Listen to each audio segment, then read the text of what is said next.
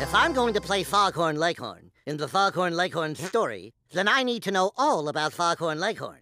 Let's start with your name. What is it? Foghorn Leghorn.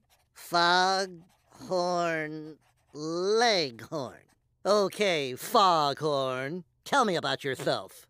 Well, I was born, I say I was born in 1900 and... Hey, this isn't the DMV.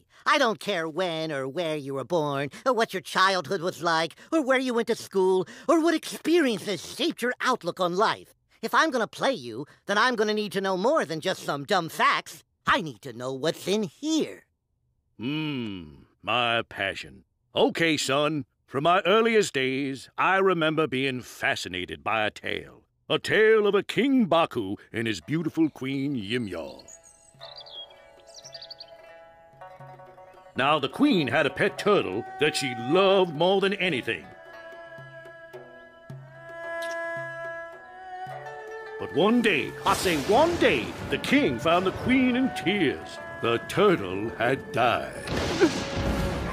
well, King Baku couldn't bear to see Queen Ymir cry. So he sent eight ships, I say eight ships, in eight directions with orders to find the most exquisite turtle in the world. One that would never die.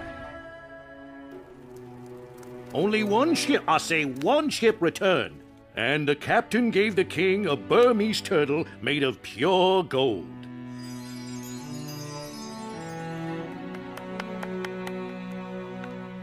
And when the king gave the Burmese turtle to his queen, she burst, I say she burst with joy. Literally. The king took the Burmese turtle and hid it, so that no one, I say no one, would ever burst with joy again. Well, I'm gonna tell you something, son. When I heard that story, I vowed, I say I vowed, to find that turtle. And you know what?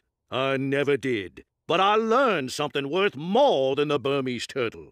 It ain't the treasure, son. It's the quest. And that's, I say that's what's in here.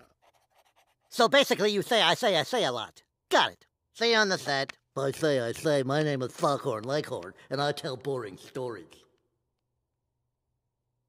Hmm, that boy, I say that boy gets me.